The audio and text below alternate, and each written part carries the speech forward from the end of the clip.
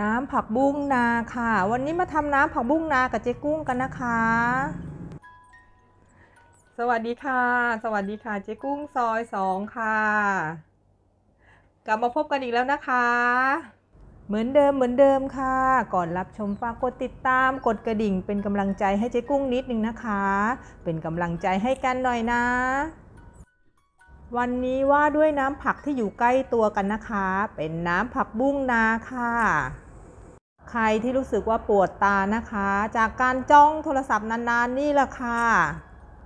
สามารถช่วยได้จริง ๆนะคะ เจ๊กุ้งลองมาแล้วล่ะค่ะก่อนอื่นเลยนะคะนำผักบุ้งนาของเรานะคะ ไปล้างน้ำให้สะอาดเลยค่ะ แล้วก็พักไว้ให้แห้งนะคะ สูตรนี้นะคะนอกจากจะบำรุงสายตาแล้วนะคะ ยังสามารถล้างพิษในลำไส้ได้เป็นอย่างดีเลยล่ะค่ะ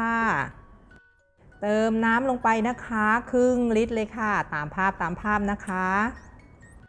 ปิดฝาต้มให้เดือดเลยค่ะ เป็นอีกทางเลือกหนึ่งเลยนะคะ สูตรนี้นะคะ ใครที่ใช้สายตาจากโทรศัพท์นานๆนะคะ ห้ามพลาดห้ามพลาดเด็ดขาดเลยล่ะค่ะนำผักบุ้งนาของเรานะคะ 1กำมือค่ะ ตัดและใส่ลงไปในหม้อได้เลยค่ะ ตามภาพนะคะทำการต้มนะคะ 25 นาทีเลยค่ะ ให้น้ำเขาเป็นสีเขียวอ่อนเลยนะคะ ใครจะใส่น้ำตาลทรายก็ได้นะคะ แนะนำว่าอย่าทานหวานมากนะ สูตรนี้เจ๊กุ้งขออนุญาตไม่ใส่น้ำตาลนะคะ หลังจากผ่านไปเป็นที่เรียบร้อยแล้วนะคะ เราจะได้น้ำสีเขียวอ่อนสวยเลยละค่ะ พักไว้ก่อนเลยนะคะทำการปิดไฟเลยค่ะ เดี๋ยวไปดูขั้นตอนการเสิร์ฟกันเลยนะคะทำการกรองเลยนะคะ เอาแต่น้ำเขาเลยค่ะ แต่วันนี้นะคะเราจะเพิ่มความสดชื่นลงไปด้วยนะคะ เพิ่มความสดชื่นของมะนาวค่ะ เชื่อไหมคะ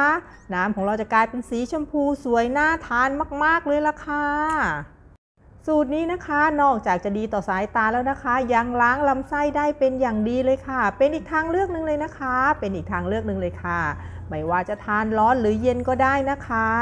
ขอบคุณสำหรับการรับชมค่ะ คลิปนี้เจ๊กุ้งต้องไปแล้วนะคะ อย่าลืมนะคะ ดูแลรักษาสายตากันด้วยค่ะ พบกันใหม่คลิปหน้านะคะ สวัสดีค่ะ